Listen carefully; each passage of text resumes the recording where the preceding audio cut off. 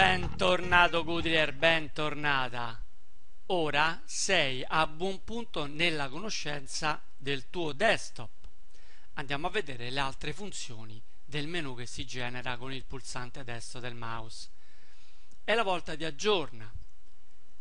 Questa opzione non farà altro che aggiornare la visualizzazione del desktop.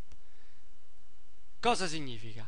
Hai mai provato a eseguire delle variazioni, delle impostazioni, ma non vengono immediatamente visualizzate? Beh, se clicchi su questo pulsante non fare altro che aggiornare la visualizzazione della pagina e portare in visione le modifiche che hai precedentemente eseguite.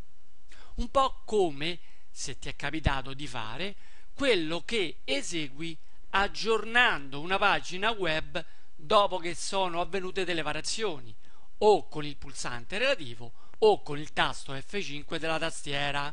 L'opzione aggiorna esegue la stessa funzione. Altra opzione del menu riguarda le proprietà grafiche. Questa specifica opzione potresti non trovarla nel tuo PC, nel tuo sistema operativo, perché è soggettiva dell'hardware presente nel tuo computer. Infatti è specifica della scheda grafica installata. Cliccandoci sopra aprirà il pannello di controllo relativo proprio alla scheda grafica del tuo computer. Detto questo, evitiamo la trattazione sia perché è troppo discriminante da una scheda grafica rispetto all'altra, ma soprattutto perché queste impostazioni le potremo ritrovare poi nella descrizione del pannello di controllo che descriverò in seguito. Subito sotto proprietà grafiche troviamo le opzioni grafiche. Anche questa in parte si ricollega alle proprietà grafiche della tua scheda, ma volevo farti notare una particolarità che puoi evidenziare proprio nelle opzioni grafiche di questo menu, che è riferita alla rotazione del monitor. Se ti posizioni su opzioni grafiche si apre un nuovo menu, una nuova sezione tra le quali trovi scritto rotazione. Nel menu che si evidenzia trovi quattro possibili scelte normale, 90 gradi, 180 gradi e 270 gradi. A seconda di come scegli, di quale opzione scegli, potrai ottenere una rotazione a passi di 90 gradi della visualizzazione del desktop. Hai mai visto dei monitor appesi a pareti o lateralmente o al soffitto per poter continuare a effettuare una visione corretta, quindi per il verso corretto viene sfruttata questa metodologia di visualizzazione, quindi ruotando il desktop. Se decidi di provarla però preparati perché ti sarà molto difficile, almeno all'inizio, gestire i movimenti del mouse. Puoi provarla, ma ti verrà da ridere vista la difficoltà di gestire il movimento del mouse. Altra opzione che non è applicabile nella maggior parte dei PC è l'impostazione guidata TV e quindi passiamo decisamente oltre. La parte relativa all'opzione nuovo è stata ben descritta nella lezione 60, quindi eh, ti stimolo ad andarla a visionare se ancora non hai preso visione di questa lezione. Ora veniamo alla risoluzione dello schermo. Una vecchissima pubblicità diceva che se per una parete grande ci vuole un pennello grande, allora direi che per un monitor grande ci vuole una risoluzione grande, visti i monitor che attualmente possono essere acquistati, intendo dire per le loro dimensioni. Il senso è che devi adattare la risoluzione del monitor alle tue esigenze, prendendo in considerazione le caratteristiche hardware del computer in termini di scheda grafica e dimensione proprio del monitor. L'unità di misura della risoluzione del monitor, spero e credo che tu sappia, è il pixel e comunque puoi andarla a visionare nella lezione 18. In pratica la risoluzione si rappresenta con due numeri eh, corrispondenti ai pixel orizzontali e al numero di pixel verticali del monitor. Brutalmente, in maniera molto semplicistica, il monitor visualizza per mezzo di piccolissime lampadine colorate che si accendono, si spengono a seconda dei colori che devono visualizzare. L'insieme di queste micro lampadine, appunto i pixel, eh, danno la visualizzazione completa e più è grande il numero di pixel, maggiore sarà la qualità di ciò che viene rappresentato sul monitor. Ad esempio, conosci la qualità dei DVD? È bellissimo a vedersi, forse, ma qualche anno fa. Questo perché la risoluzione di un DVD è pari a un numero di pixel corrispondenti a 720 x 576, ripeto, in senso orizzontale e verticale.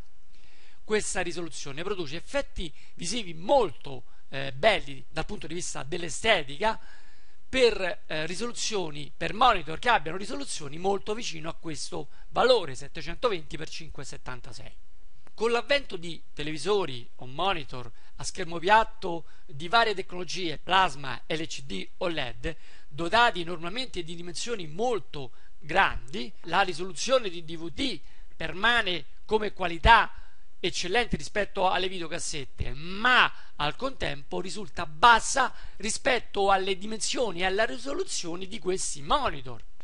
Per farti capire cosa intendo dire, prendi una foto di piccolissime dimensioni, diciamo un formato tessera, passala allo scanner e ora prendi il file, inseriscilo o nel lettore MP4 o nel tuo telefonino o nello smartphone che eventualmente possiedi hai naturalmente in visione una qualità molto bella.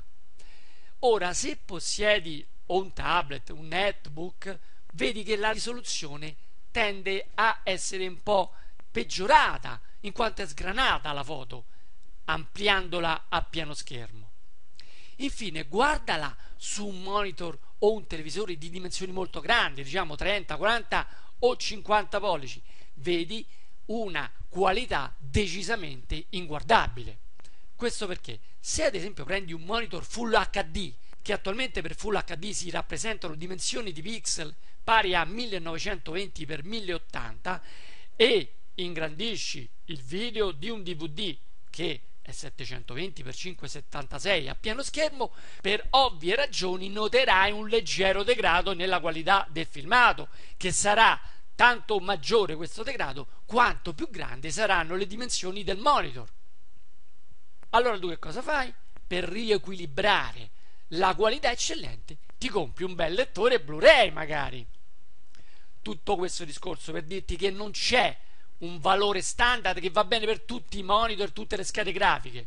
Sarai tu a decidere in base alle impostazioni e le potenzialità del tuo hardware la risoluzione da adattare alla visualizzazione del tuo desktop. Andiamo sull'operatività. Come fare per gestire la risoluzione? Avvia il menu sul desktop e posizionati sulla opzione risoluzione dello schermo. Ti si aprirà una schermata più o meno identica a questa nella quale potrai scegliere la risoluzione del monitor. Cliccando su questo pulsante si aprirà un menu nel quale gestirai la risoluzione del tuo desktop. Scegli il valore che meglio credi per la tua visualizzazione.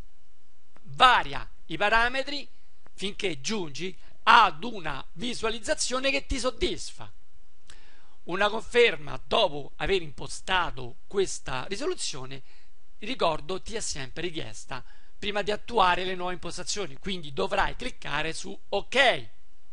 Ovviamente più è alto il valore che puoi impostare, maggiore sarà la potenziale qualità delle immagini di foto e video che potrai visionare sul tuo schermo. Ma ricordati, tutto dipende dalla fonte. Vedi l'esempio della fototessera di cui parlavo prima. Ciò che intendo dire è che se la qualità delle immagini, delle foto, dei video è già bassa per natura, non potrai migliorarne la visione se la risoluzione del tuo monitor è elevatissima. Allora che fai? Potrai degradare la qualità di risoluzione del tuo monitor. In sintesi, dovrai adattare la risoluzione della fonte e della visualizzazione. Sia chiaro, non è che ogni volta che cambi visualizzazione o di foto, video, immagini, dovrai cambiare le impostazioni dello schermo per ottimizzare la visione. No, di norma quando fonte e risoluzione hanno dei valori di risoluzione relativamente vicini, non noterai molto la differenza. Quindi, quanto detto prima, diciamo, lo tramutiamo in adatta la fonte e la visualizzazione in termini di risoluzioni nel caso in cui occorra, nel caso in cui serva. Nella schermata eh, della modifica della visualizzazione però trovi anche altri pulsanti. Dal menu che si genera dall'opzione orientamento potrai decidere di ruotare la visualizzazione del desktop, come detto in precedenza, a passi di 90 gradi. Qui è riportato un altro parametro orizzontale e verticale, ma il senso è lo stesso. Il pulsante invece impostazioni avanzate ti rimanda alle impostazioni proprie della scheda grafica che, ripeto, dipenderanno dall'hardware installato, quindi dalla tipologia della scheda grafica che avrai scelto di comprare e installare sul tuo computer. Tuttavia, nella schermata che si presenterà, attua particolare attenzione alla sezione monitor, alla linguetta monitor e vai a selezionare da questo menu corrispondente a frequenza di aggiornamento il valore più alto tra quelli evidenziati. Assicurati che sia selezionata la spunta nascondi modalità non visualizzabili con questo monitor. Questo perché ottimizzerai la visualizzazione del monitor per evitare che si possa danneggiare. Cosa effettua la frequenza di aggiornamento? Non farà altro che gestire la velocità con cui l'illuminazione dei pixel del tuo monitor si aggiorna per mantenere quanto più in tempo reale la visualizzazione di ciò che elabora la scheda grafica. Altro parametro che puoi andare a impostare in questa sezione è l'opzione colori. Dal menu che si crea seleziona il valore più alto in termini di numero di colori che può gestire la tua scheda grafica più è alto il numero, migliori saranno le sfumature e quindi i dettagli di ciò che andrai a visualizzare.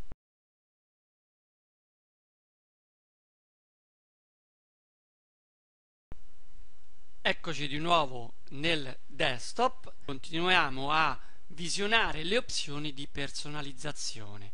Il menu che si genera con il pulsante destro, come abbiamo detto, può essere diverso a secondo del sistema operativo e della macchina. Infatti noterai che da questo computer dal quale sto registrando la lezione non viene evidenziata la sezione relativa alle opzioni grafiche, ma comunque ciò è accessibile nella zona del pannello di controllo.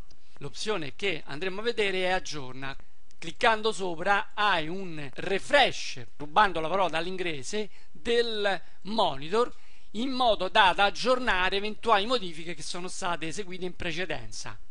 Non avendo eseguito alcuna modifica non noterai alcuna variazione naturalmente. Altra opzione che puoi andare a eh, determinare è la risoluzione dello schermo, quindi gestire la qualità della visualizzazione in termini di risoluzione proprio dei pixel. Cliccando sopra questo pulsante si aprirà la schermata di gestione di varie opzioni. La zona relativa alla risoluzione qui evidenzia l'attuale risoluzione impostata per questo monitor 1280 x 1024 che tra l'altro è evidenziato anche come scelta consigliata. Se clicchi sul pulsante alla destra si apre il cursore che ti permette di variare le impostazioni di risoluzione e gestirne la qualità sostanzialmente. Cosa accade nel momento in cui decidi di variare queste impostazioni? Supponiamo di scendere ad un valore di eh, 1280 x 720. Cliccando su applica avrai l'aggiornamento della risoluzione. Manteniamo pure le impostazioni. Questo è quello che vedrai con questa nuova risoluzione. Torniamo al valore standard applicando queste risoluzioni. Mantenendo le nuove impostazioni, che poi in realtà sono i precedenti valori, avremo la visualizzazione migliore. L'opzione orientamento, grazie a questo menu, ti permetterà di gestire l'alloggiamento del tuo monitor o su una scrivania o sul soffitto o su una parete laterale. Una volta che hai scelto il tipo di orientamento sarà sufficiente cliccare su ok e chiudere questa schermata oppure su applica per apportare le modifiche. Purtroppo il programma che utilizzo per registrare questa video lezione non mi consente di poterti mostrare questa opzione, ma divertiti a provare l'ebbrezza di non riuscire ad indirizzare correttamente il mouse dopo aver applicato tale opzione. L'opzione impostazioni avanzate ti permette di gestire alcune impostazioni della scheda grafica che sarà diversa in base a quella che avrai installato. Infatti qui hai in evidenza una scheda grafica Nvidia GeForce 9004 con un giga di RAM. La sezione monitor ti permette di gestire la frequenza di aggiornamento per quel riguarda le impostazioni monitor dal menu che si crea seleziona il valore massimo per ottimizzarne la visualizzazione. Altra opzione è il numero di colori che può gestire la tua scheda grafica.